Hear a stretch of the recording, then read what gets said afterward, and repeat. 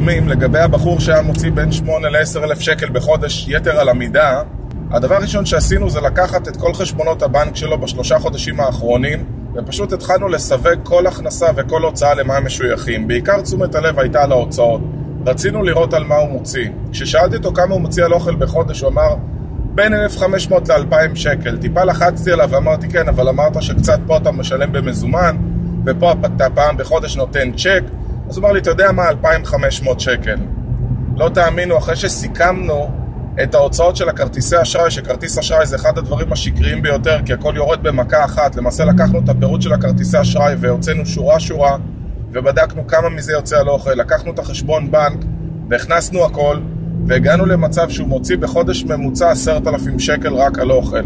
הוא היה עמום, זה בן אדם שהמשכורת שלו אפילו לא מגיעה לעשרת אלפים שקל, הוא לא הבין איך הוא מוציא על אוכל כאלה סכומים. כמובן הבעיה הייתה בדרך שבה הוא מנהל את ההוצאות שלו, וזה כבר נדבר בטיפ הבא, אבל קודם כל קחו את ההוצאות שלכם, חלקו אותם לפי קטגוריות, תבחרו משהו כמו 6-7 קטגוריות שונות, כמו בריאות, אה, בנקים, משכנתה, בית, אוכל, ואז תחלקו את זה לקטגוריות ותראו כמה אתם מוצאים בכל קטגוריה וקטגוריה. קודם כל, בשביל להתחיל לנהל כספים צריך לשלוט בהם. אני אלעד, נתראה בטיפ הבא.